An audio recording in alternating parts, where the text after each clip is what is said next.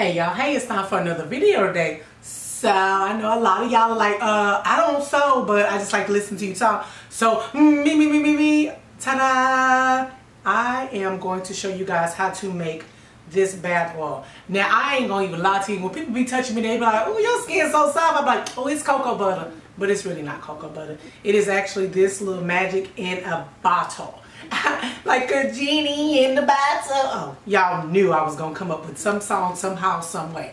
But anyway, this stuff, and it lasts a while, like this bottle that I use, oh, I feel like I'm so far away. Like I need y'all to understand how far the camera is. Like, hello, reach out and touch someone. No, but anyway, seriously, this stuff is, ah, I can't even tell you about how many oils in it, but of course your main ones are coconut, and olive oil. And as I always say, if you're allergic to one of those, you can definitely alter or add more olive or add more coconut. You know what I'm saying? So do as you please. But the point of this is to just have this magic in a bottle. Like this stuff, I'm seriously telling you guys, I have seen a difference in the smoothness of my skin. And then I'm going to also show you guys right now how to use it. So when you're in the shower, I'm going to go with my hand. Hold on.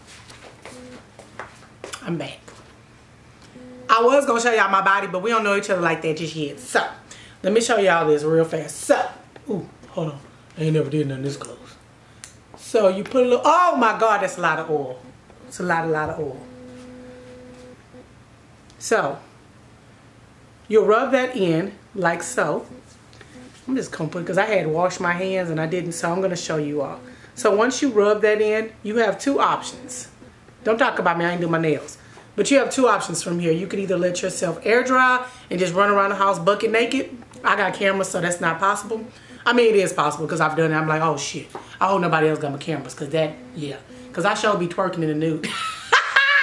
I'm kidding, but you can either let this dry or if you do, if you are in in a rush or whatever, as not even if I'm in a rush, I just prefer to pat dry. So I'll take my towel and just simply pat dry. And then what you're letting that oil do is just really just get into your skin or whatever to where, I mean, guys, look and look at the moisturization. Look at that. I said, girl, the oil is glistening all over your body. anyway, guys, so if you're interested in seeing how I make this amazing genie in a bottle, no, magic in a bottle, because that's what it is, keep watching. Oh? Why do I always forget this? Guys, hello, welcome. Y'all new to the channel. What's up? What's up? Doing? If you're not, y'all remember to, oh wait, no, if you're not new, then you already probably subscribed because that's why you back. But for the rest of y'all, hey, welcome. I am Trinity, owner and founder and designer of Nomillia Designs, where this channel is full of everything that you want. And if, if not, I mean, you can just pretend that it's full of everything you want. It's fine. but anyway, don't forget to subscribe and click that notification button so we can...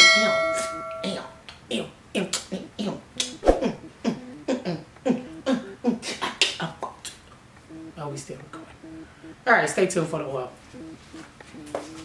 All right, guys, so the first oil is the argan oil, which is really high in omega fatty acids, vitamin E, and a lot of stuff that'll soften your skin and help with dry patches and even can help with acne.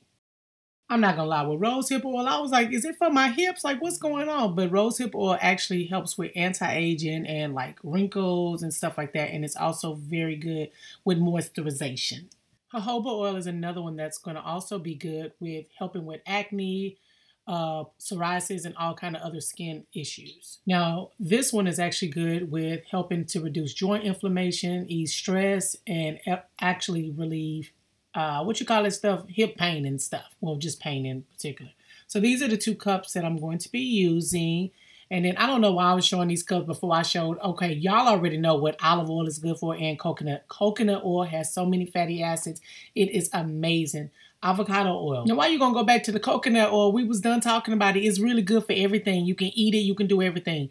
Avocado oil helps with the absorption of the other oil. So it just kind of helps and it's great to cook with. So if you can't do the other two, this one is amazing. Okay, almond oil is actually really good with the moisturization of the skin. It helps protect with stretch marks and it protects your skin from sun damage. Ooh, so basically we got like a SPF like fake thing. Anyway, you'll need a bottle of course and a funnel. And I actually did go ahead on and melt my um, coconut oil. One thing you can do is just throw it in the sun because I know everywhere is hot as hell right now. So you going I got some other oil left over and I know y'all don't think I'm about to get rid of my oil because that ain't happening. So let me tell you, this oil probably lasts at least a month or so. I mean, because if, if you saw at the beginning, it really spread. So you don't need to like sop your body up like a biscuit because, baby, like you are really going to be like, for real, like slip and slide greasy. And I mean, I get it. You want to be moisturized, but now you're going too far. So you'll take your funnel and then we're just simply going to go through these oils like quick, fast, and in a hurry. So of course, first I'm going to be using the, what is that girl? What is that? The cup of the coconut oil. None of these measures measurements have to be followed directly because you can decide like, hey, you know what? I'm gonna need a little bit more of that rose hip, so you can do an extra couple drops of that or whatever. But it is to your discretion. The only thing I'm doing is showing you how I measure it. And I'm going to be honest with you. Sometimes I'll do this, or and I'm like, man, just throw that stuff in the bottle quickly, expeditiously, and most of all, professionally. Yeah. My only suggestion is that the first two oils you put in is your olive oil and your coconut oil because those are the ones that are your base. So you want those two oils to go on and mix and get to know each other better. Click like what you do, you swipe right on me. Come on, olive oil, swipe right on coconut. Okay, they, they about to have some things. So whatever. But because those are your two main ones, those are the ones that you want to fill up first. That way you're not using too much of the other oils. Now the avocado, I also use uh is that a one third? I'm gonna be honest with y'all. I think that's my one third. And the jojoba oil, you're just doing a couple of drops like that. Rose hip, you're gonna do 10 squirts of the rose hip. Um, the almond oil, I think I did the tablespoon. I did. I did a tablespoon. Now, again, you can use more of this as you want.